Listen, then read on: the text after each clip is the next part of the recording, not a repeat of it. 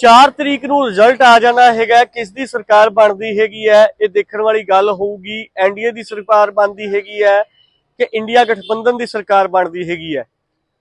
ਸਵੇਰ ਤੋਂ ਹੀ ਰੁਝਾਨ ਆਣੇ ਸ਼ੁਰੂ ਹੋ ਜਾਣੇ ਆ। ਫਿਰੋਜ਼ਪੁਰ ਲੋਕ ਸਭਾ ਸੀਟ ਦੀ ਗੱਲ ਕਰਦੇ ਹੈਗੇ ਆ, ਕਿਉਂਕਿ 4 ਤਰੀਕ ਨੂੰ ਰੁਝਾਨ ਆਣੇ ਹੈਗੇ ਆ ਫਿਰੋਜ਼ਪੁਰ ਲੋਕ ਸਭਾ ਸੀਟ ਦੇ ਵਿੱਚ। ਅਸੀਂ ਸਟਰੋਂਗ ਰੂਮ ਦੇ ਬਾਹਰ ਖੜੇ ਹੋਏ ਆ, ਜਿੱਥੇ ਈਵੀਐਮ ਮਸ਼ੀਨਾਂ ਪਈਆਂ ਹੋਈਆਂ। ਕਿਸਮਤ ਕੈਦ ਹੈਗੀ ਆ ਉਮੀਦਵਾਰਾਂ ਦੀ, ਉਹਨਾਂ ਮਸ਼ੀਨਾਂ ਦੇ ਵਿੱਚ।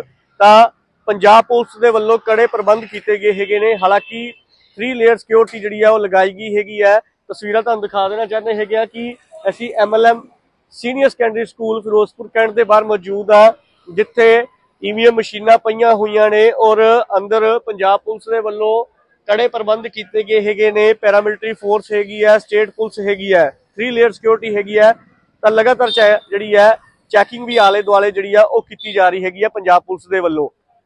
ਜੇ ਹੁਣ ਗੱਲ ਕਰਦੇ ਹੈਗੇ ਆ ਫਿਰੋਜ਼ਪੁਰ ਲੋਕ ਸਭਾ ਸੀਟ ਦੀ, ਫਿਰੋਜ਼ਪੁਰ ਲੋਕ ਸਭਾ ਸੀਟ ਤੋਂ ਬੀਜੇਪੀ ਤੋਂ ਰਾਣਾ ਗੁਰਮੀਤ ਸਿੰਘ ਸੋਢੀ, ਕਾਂਗਰਸ ਤੋਂ ਸ਼ੇਰ ਸਿੰਘ ਗੁਬਾਇਆ ਸ਼੍ਰੋਮਣੀ ਅਕਾਲੀ ਦਲ ਤੋਂ ਨਰਦੇਵ ਸਿੰਘ ਬੋਬੀਮਾਨ, ਆਮ ਆਦਮੀ ਪਾਰਟੀ ਤੋਂ ਜਗਦੀਪ ਸਿੰਘ ਕਾਕਾ ਬਰਾੜ ਬੀਐਸਪੀ ਤੋਂ ਸੁਰਿੰਦਰ ਕੰਬੋਜ, ਸ਼੍ਰੋਮਣੀ ਅਕਾਲੀ ਦਲ ਅੰਮ੍ਰਿਤਸਰ ਤੋਂ ਗੁਰਚਰਨ ਸਿੰਘ, ਸ਼੍ਰੋਮਣੀ ਅਕਾਲੀ ਦਲ ਫਤਿਹ ਤੋਂ ਜਸਕਰਨ ਸਿੰਘ, ਕਾਹਨ ਸਿੰਘ ਵਾਲਾ ਅਤੇ ਵੱਖ-ਵੱਖ ਆਜ਼ਾਦ ਉਮੀਦਵਾਰ ਵੀ ਹੈਗੇ ਨੇ ਤੇ ਕੁੱਲ 29 ਉਮੀਦਵਾਰਾਂ ਦੀ ਕਿਸਮਤ ਈਵੀਐਮ ਮਸ਼ੀਨਾਂ ਦੇ ਵਿੱਚ ਕੈਦ ਹੈ, ਜਿਹੜੀ ਕਿ 4 ਤਰੀਕ ਨੂੰ ਪਤਾ ਲੱਗ ਜਾਏਗਾ ਕਿ ਇਸ ਸੀਟ ਤੋਂ ਕੌਣ ਜਿੱਤਦਾ ਹੈਗਾ ਸਵੇਰ ਤੋਂ ਹੀ ਰੁਝਾਨ ਆਣੇ ਸ਼ੁਰੂ ਹੋ ਜਾਣੇ ਆ। ਫਿਰੋਜ਼ਪੁਰ ਦੇ ਵਿੱਚ ਕੁੱਲ ਵੋਟਰ ਜਿਹੜੇ ਹੈਗੇ ਸੀਗੇ, ਉਹ 16 ਲੱਖ 70 ਹਜ਼ਾਰ 8 ਹੈਗੇ ਸੀਗੇ ਤੇ ਜਿਹੜੀ ਵੋਟ ਪੋਲ ਹੋਈ ਹੈ ਇੱਕ ਨੂੰ, ਇੱਕ ਤਰੀਕ ਨੂੰ, ਉਹ ਜਿਹੜੀ ਹੋਈ ਹੈ 11 ਲੱਖ 19 ਹਜ਼ਾਰ 167 ਵੋਟਾਂ ਪਈਆਂ ਹੈਗੀਆਂ ਨੇ। ਹਾਲਾਂਕਿ ਕਈ ਹਲਕਿਆਂ ਦੇ ਵਿੱਚ ਵੋਟ ਪੋਲ ਕਾਫੀ ਜ਼ਿਆਦਾ ਹੋਈ ਹੈ ਫਾਜ਼ਿਲਕਾ ਦੇ ਵਿੱਚ ਕਾਫੀ ਜ਼ਿਆਦਾ ਵੋਟ ਪੋਲ ਹੋਈ ਹੈ ਜਲਾਲਾਬਾਦ ਦੇ ਵਿੱਚ, ਗੁਰੂ ਹਰਸਾਏ ਦੇ ਵਿੱਚ ਫਿਰੋਜ਼ਪੁਰ, ਦਿਹਾਤੀ ਦੇ ਵਿੱਚ। ਹਾਲਾਂਕਿ ਫਿਰੋਜ਼ਪੁਰ ਲੋਕ ਸਭਾ ਸੀਟ ਤੇ 9 ਵਿਧਾਨ ਸਭਾ ਹਲਕੇ ਹੈਗੇ ਨੇ।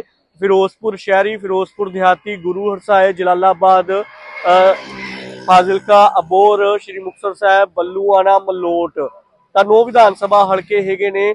ਤਾਂ ਕੀ ਬਣਿਆ ਹੈਗਾ? ਸਮੀਕਰਨ ਕੀ ਹੈਗੇ ਨੇ? ਤਾਂ ਇਸ ਵਾਰ ਸਮੀਕਰਨ ਬਦਲ- ਕਾਫੀ ਬਦਲਦੇ ਹੋਏ ਨਜ਼ਰ ਆਣਗੇ। ਕਿਉਂਕਿ ਐਤਕੀ ਸ਼੍ਰੋਮਣੀ ਅਕਾਲੀ ਦਲ ਬੀਜੇਪੀ ਔਰ ਬੀਐਸਪੀ ਅਲੱਗ-ਅਲੱਗ ਲੜੇ ਹੈਗੇ ਨੇ।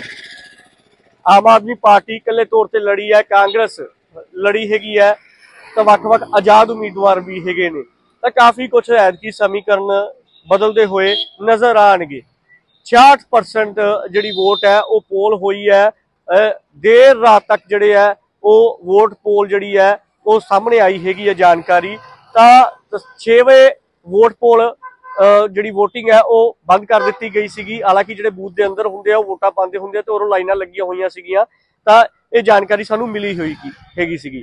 ਤਾਂ ਹੁਣ ਫਿਰੋਜ਼ਪੁਰ ਦੇ ਵਿੱਚ 4 ਤਰੀਕ ਨੂੰ ਰੁਝਾਨ ਆਣੇ ਸ਼ੁਰੂ ਹੋ ਜਾਣੇ ਆ ਔਰ ਕਿੰਦੀ ਕਿਸਮਤ ਖੁੱਲਦੀ ਹੈਗੀ ਹੈ, ਇਹ 4 ਤਰੀਕ ਨੂੰ ਪਤਾ ਲੱਗੇਗਾ।